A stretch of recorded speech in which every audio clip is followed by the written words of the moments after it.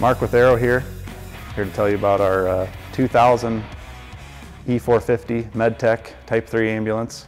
This truck has the uh, legendary 7.3 liter Power Stroke diesel motor in it.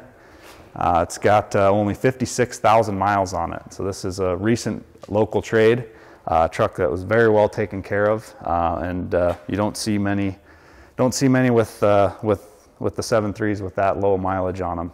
Uh, got a lot of uh, updated features that we did on it. Uh, this one's got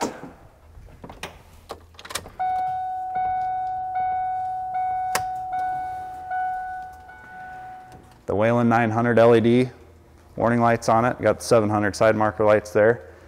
Um, a lot of nice features on this box. Nice big box. Uh, good size uh, O2 compartment here. Got a Vanner inverter and charger. Nice big L2 compartment with a nice big shelf in there, so room for a lot of storage. Another uh, nice bigger compartment. This L3 compartment back here's got a nice shelf and then also has inside out access into the box. And moving around to the rear, it's got uh, chevron on the rear already. So for enhanced visibility and made some uh, upgrades inside as well. Uh, it's got uh, LED cot lights in it. Um, 72 inch headroom in here. So like I said, nice, uh, nice tall, nice big box.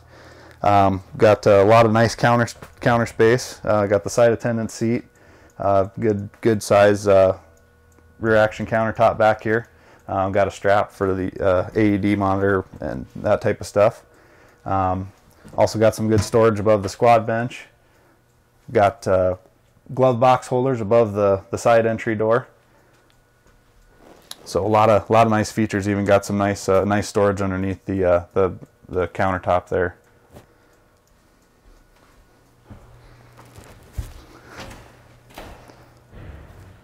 Nice big backboard storage here that's kind of compartmentalized. So got a shelf in there so you can put a stair chair in there as well, as well as some uh, things up above.